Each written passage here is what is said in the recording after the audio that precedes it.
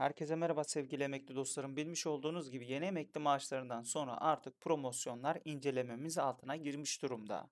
Emekli banka promosyon ücretleri bu ay içerisinde yani Ağustos ayında da gündemde olacak. Emekli maaşlarına yapılan zamla birlikte bankaların arası emekli promosyon yarışı hızlandırıldı. Bankalar emekli promosyonlarını güncellerken tutar 20.000 TL'ye kadar dayanmış oldu. Emekli banka promosyon ücretlerinin Ağustos itibariyle güncellenmesiyle birlikte hangi bankanın ne kadar promosyon vereceği merak ediliyordu ve araştırılıyordu.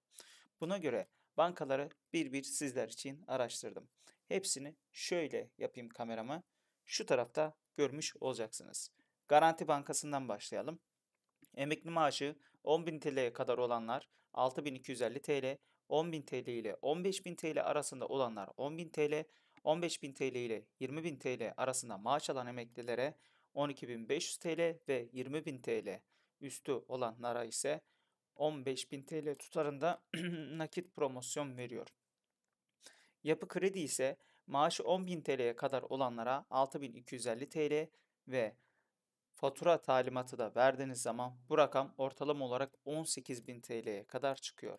Yani fatura talimatı nedir? Otomatik ödeme talimatından bahsediyoruz. Akbank ise sevgili dostlar şöyle göstereyim Akbank'ı.